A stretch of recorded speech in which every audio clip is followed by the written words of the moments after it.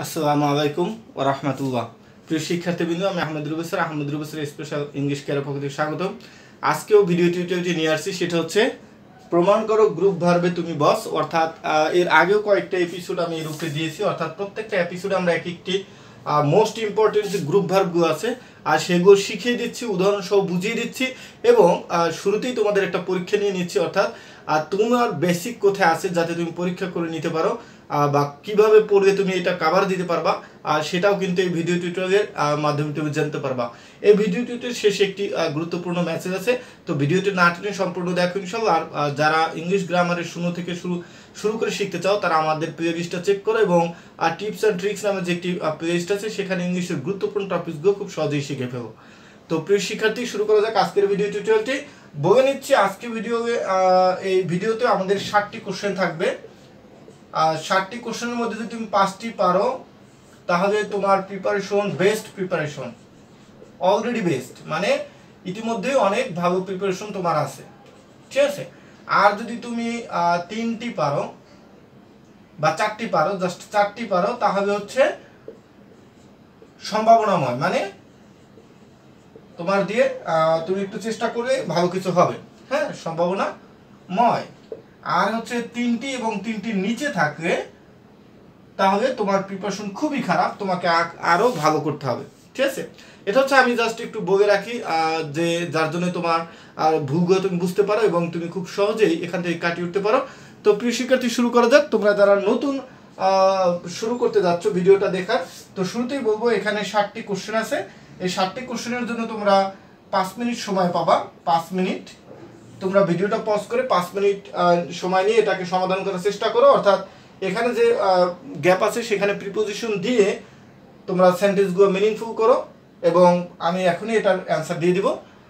যার ফলে তুমি এটা মিলিয়ে এবং কমেন্টে জানাবা তুমি কত পেয়েছ। তবে হতাশ হওয়ার কিছু নাই। পরবর্তীতে আমি ভিডিওর শেষে একটি গুরুত্বপূর্ণ কথা বলব ইনশাল্লাহ তো প্রিয় শিক্ষার্থী, প্রথমে দেওয়া আছে দেখো he passed dashed last night আচ্ছা এখানে আমাদের প্রিপোজিশন হবে আমি আগে বলছি, তোমরা যারা পরীক্ষা দিচ্ছ। অবশ্যই যেটা করবে সেটা হচ্ছে খাতায় লিখে রাখো এবং এখন লিখে নাও। অ্যাওয়ে পাস অ্যাওয়ে অর্থ মারা যাওয়া। হ্যাঁ? মারা যাওয়া। তাহলে অর্থটা কি? He passed away last night সে গত রাত্রে মারা গিয়েছিল বা গত হয়েছিল। We should pass dash many ways পাসের সাথে একটি প্রিপোজিশন আছে থ্রো যখন এটা বসে, তখন এটার অর্থ হয়ে যায় অভিজ্ঞতা সঞ্চয় করা। অভিজ্ঞতা সঞ্চয় করা। তাহলে অর্থ হয় কি দেখো? We should pass through many ways আমাদের বিভিন্ন উপায়ে বা বিভিন্নভাবে অভিজ্ঞতা সঞ্চয় করা উচিত। এরপরে মিলিয়ে নাও তিন নম্বরটা। I can not make dash your words আচ্ছা এটার ই হবে out I can not make out your words your words অর্থ মানে তোমার কথা।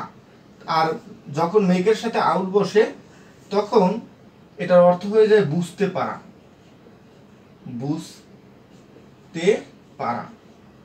আচ্ছা তাহলে দেখো এখন কি হয়ে যায়? আমি তোমার কথা বুঝতে পারি না। ক্লিয়ার আচ্ছা এবার দেখো চার নাম্বার আছে।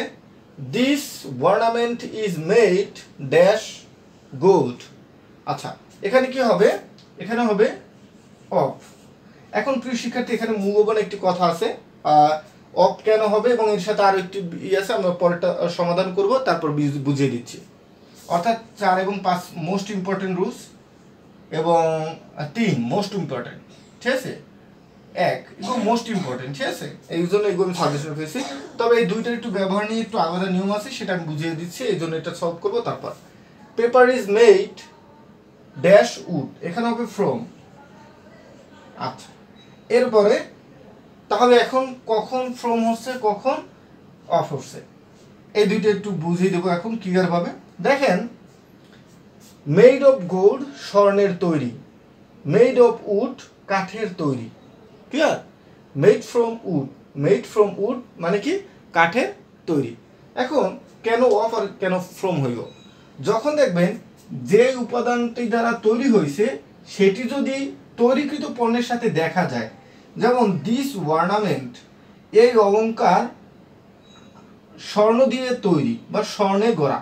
তাহলে এই অলংকারে যে স্বর্ণ থাকে, স্বর্ণটা কিন্তু আমরা দেখতে পাচ্ছি তাহলে দেখা গেলে, উপাদানটা যদি দেখা যায় চোখে তখন আমরা অফ দিব। ক্লিয়ার এবার দেখেন। Paper made is made from wood from মানে কি? ইয়ে থেকে। কাঠ থেকে পেপার হয় বা তৈরি করা হয়। এখন পেপারে কি কাঠটা দেখা যায়? কাঠ কি আমরা যখন একটা কাগজে দেখি, আমরা কাগজের মধ্যে কি কাঠের কোনো মানে চিহ্ন দেখা যায়? দেখা যায় না। তো যদি যে উপাদান দ্বারা তৈরি হয়, সেটা যদি দেখা না যায়, তাকে আমরা ফ্রম বসাবো। আর যদি দেখা যায়, তাহলে আমরা অফ বসাবো। ক্লিয়ার আচ্ছা এর সাথে আরও একটি গুরুত্বপূর্ণ রুলস আছে, আমরা এক এক করে দেখব। The team is made dash eleven players তো প্রিয় শিক্ষার্থী, এখানে কি বসবে? তো প্রিয় শিক্ষার্থী, আমাদের এখন হচ্ছে এখানে কি বসবে? সেটা হচ্ছে the team is made dash of eleven players তো এখানে আমরা মেড আপ অফ এখানে দুইটা প্রিপোজিশন বসাতে হবে। তাহলে এটার অর্থ হয়ে যাবে গঠিত। এখানে এটার অর্থ হবে না এরকম যে তৈরি করা মানে কোনো কিছু কিছু নিয়ে গঠিত। তা দেখেন, দলটি এগারো জন প্লেয়ার নিয়ে গঠিত হয়েছে। ঠিক আছে, গঠিত হওয়া। ক্লিয়ার এটার অর্থ মনে হয় বুঝতে পারছেন ইনশাল্লাহ এরপর দেখেন I must make I must make আমি অবশ্যই আমি অবশ্যই ড্যাশ দ্য লস টাইম হারানোর সময়। আচ্ছা মিনিংটা দ্বারা কেমন বোঝাচ্ছে? আমি অবশ্যই আমার হারানোর সময়কে কি? মানে রিকভার করব বা ক্ষতিপূরণ করব বা এটাকে পূরণ করে নিব, পরিপূর্ণ করে নিব, এই তো? আচ্ছা অর্থাৎ যারা এই পরীক্ষাতে কম পেয়েছেন তাদের জন্য এই মেসেজটা রাখছি। সেটা হচ্ছে আপনি যেটা করবেন যে আপনি যে, যদি এই স্কোরের মধ্যে আপনার মার্কস না থাকে, যদি বেস্ট সম্ভাবনার মধ্যে না থাকে, অর্থাৎ তিন এবং তিনের নিচে থাকে, তাহলে আপনাদের জন্য এই সেন্টেন্সটা যে আপনারা এখন থেকে বলে রাখেন বলবেন I must make up for make up for make up for অর্থ ক্ষতিপূরণ করা বা পরিপূরণ করা। পরিপূরণ করা। ঠিক আছে? বা পরিপূর্ণভাবে ক্ষতিপূরণ করা। তবে I must I must may make up make up for the loss time আমি আমার হারানোর সময়ের যে ক্ষতিটা, সেটা আমরা পূরণ করে নেব। এটা হচ্ছে আপনাদের জন্য মেসেজ তো প্রিয় শিক্ষার্থী যারা পাস পেয়েছেন আলহামদুলিল্লাহ আপনারা এরপরে ভকাবুলারি এবং প্রিপোজিশনের উপরে আর ফ্রেজের উপরে গুরুত্ব দেন।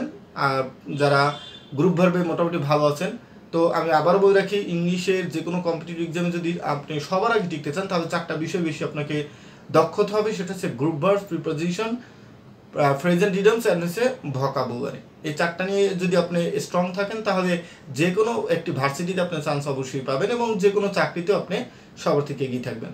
তো যাদের এই দুর্বলতা আছে, এখন থেকে এটা পূরণ করে ফেলবেন অর্থাৎ আপনিও বলেন I must make up for the waste time ঠিক আছে? তো প্রিয় শিক্ষার্থী, সবাই ভালো থাকবেন সুস্থ থাকেন। যারা আমাকে দেখছেন, আমাদের প্লে লিস্টে সমস্ত ইংলিশের ভিডিওগুলো আছে। আপনার প্লে লিস্টটা জাস্ট স্কিপ করার আগে একটু প্লে লিস্টটা চেক করে দেখেন। আপনার প্রয়োজনে অনেক ভিডিও পাবেন। ঠিক আছে? সবাই ভালো থাকবেন সুস্থ থাকেন। আল্লাহ হাফেজ।